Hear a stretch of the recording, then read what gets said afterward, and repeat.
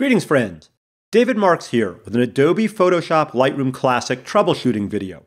As you know, I love this program, but let's face it, mastering Lightroom Classic is not easy, and it can be super frustrating when our tools, panels, or features suddenly go missing. Now, there are so many ways that things can go wrong in Lightroom that I have divided up the hunt for missing tools and features into two separate video tutorials. In this video, I'm going to cover the most common frustrations that I see inside of Adobe Lightroom Classic's library module only. If there are develop module tools or features that you are missing, then the next video in this series is the one for you. Without further ado, let me walk you through some of the most common missing tool scenarios that I see every day. I often hear from panic photographers who are freaking out when something large like the left or right hand panels have gone missing in Lightroom.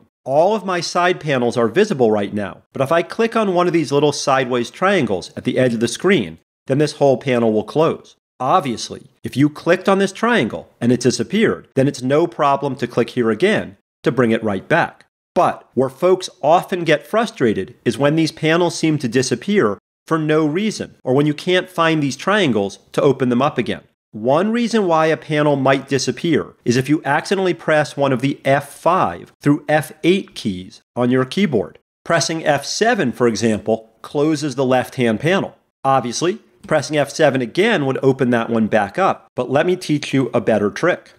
In Lightroom Classic, the Tab key on your keyboard opens or closes both panels at once.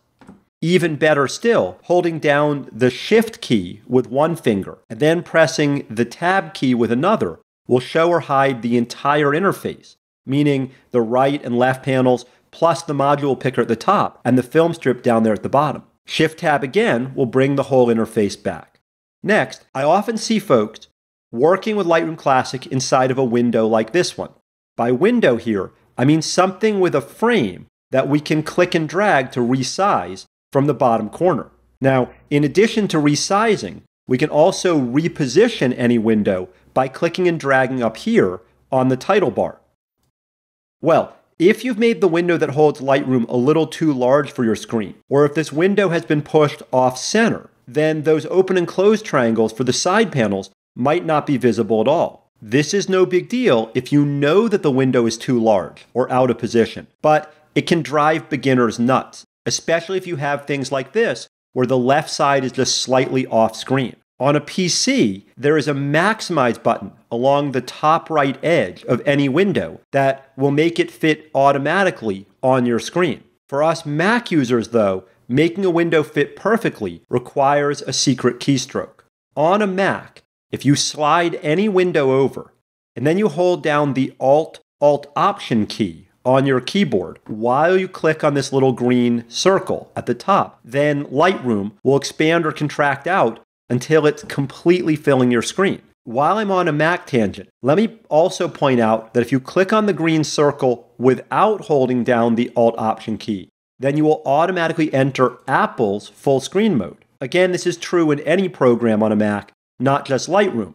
And Although the Apple full screen view is nice, it automatically hides away your Windows frame and the menu bar at the top of the screen. To bring the menu bar back and the whole window frame, just push your cursor up to the top left and then click on that green circle again. Now that was Apple's full screen view, but as it turns out, there is a similar full screen command built into Lightroom Classic on both a Mac and a PC. If you hold down the Shift key with one finger and then you press the letter F on your keyboard, you can cycle through Lightroom's full screen modes.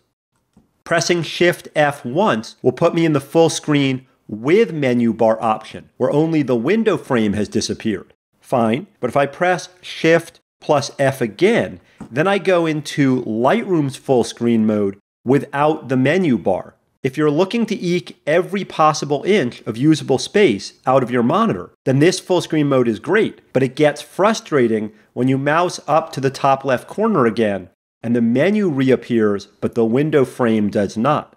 If this happens to you, just press Shift F yet again to return to our normal window framed view. By the way, you can find all of these commands and their keyboard shortcuts inside of the window menu in Lightroom window, enter full screen, or screen mode, full screen with menu bar, etc.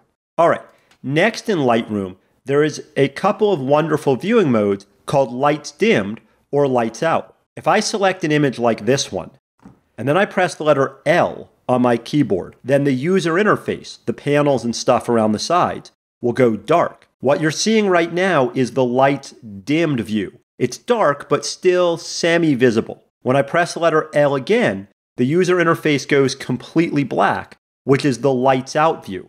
I really like this option because now I can focus on my image and not get distracted by any of Lightroom's user interface. Pressing L brings the lights back on, meaning the interface reappears. That's fine, but here's the part that can really freak you out. If I click on an empty folder or on a collection with nothing in it, and then I tap on the letter L twice to enter the lights out mode, then my screen will go completely black. This one is certain to give you heart palpitations. If you ever stumble into this inky black hole, just press the letter L again before you go ballistic.